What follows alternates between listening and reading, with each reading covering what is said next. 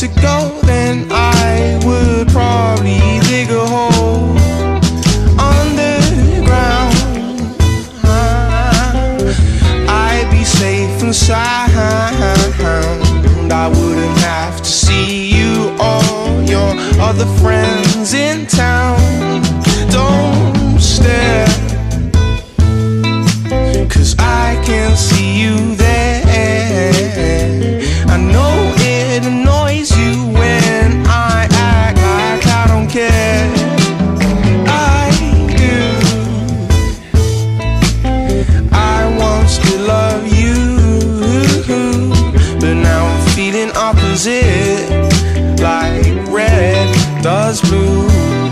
So get out my face and leave me be.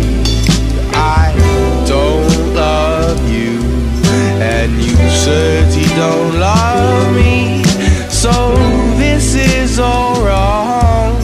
Your argument is long, and now you've overstayed your welcome.